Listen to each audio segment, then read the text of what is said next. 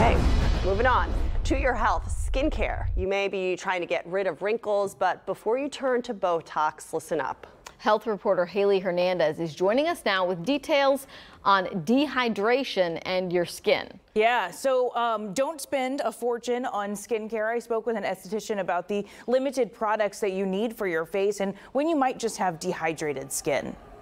Living in Houston's heat and humidity might be good for your skin. A Japanese study found significant decreases in skin elasticity and more fine wrinkles among people in low humidity compared with high humidity. So the stifling summer heat may help Southerners to look younger, as long as you still keep it hydrated. While being dehydrated has many negative impacts on your health, it might not be as simple as just slamming water. Experts say what matters most is a good moisturizer to quench your thirst. In hot and humid uh, climates, it's going to be really, really important to stay diligent about application and reapplication. Esthetician Emily Trampetti says you don't always have to buy a lot of products or get fillers and injections to decrease wrinkles. In fact, the number one way to prevent damage is applying sunscreen, which is one of only three products she says you need for healthy skin.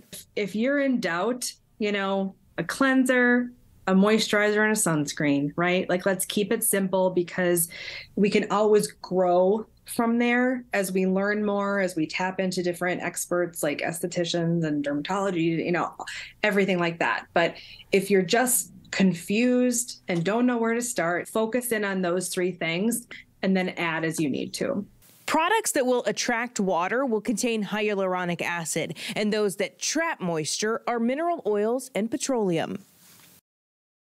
Now, the nice part about dehydration lines is that they're generally easier to get rid of than those deeper age wrinkles, uh, which are caused by repetitive movement and are best resolved with injectables like Botox. But the key difference between the age wrinkles and the dehydration wrinkles is that dehydration is the crepe paper like texture, and skin experts say that that will go away with proper moisture. Oh.